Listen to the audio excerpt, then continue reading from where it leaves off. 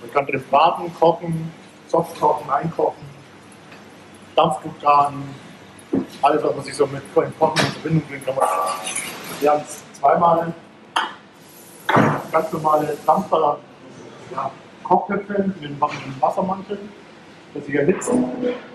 Wir können hier bis zu 100 Liter Soßen kochen, Reis kochen, Beilagen kochen. Der Vorteil an den Dingen ist, dass halt nichts reinbrennt, keine direkte Einwirkung, also keine direkte Energieeinwirkung haben, sondern alles mit dem Wassermantel umkringt sind.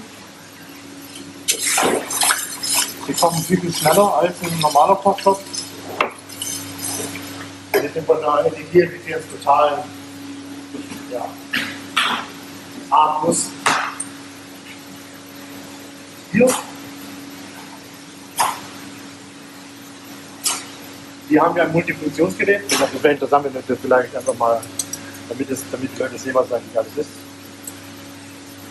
Wir haben hier ein Multifunktionsgerät, wo auch über USB anschließbar ist. Man kann sich hier Rezepte runterladen lassen und das Ding kommt eigentlich von alleine, sodass in Zukunft der Koch hier ersetzt werden kann.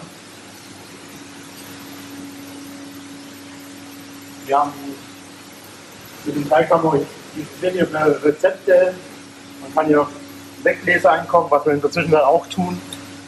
Wegleser einkochen für so Milchautomaten, wo es dann Gulasch gibt, Bolognese gibt. Und dann haben wir hier so ein manuelles Garn. Und alles geht elektrisch und alles geht von alleine. Alles energieeffizient. Sobald die Temperatur erreicht wird, schaltet er eigentlich ab. Und die Temperatur stundenlang hält dann die 100 Grad. Mit wenig Strom.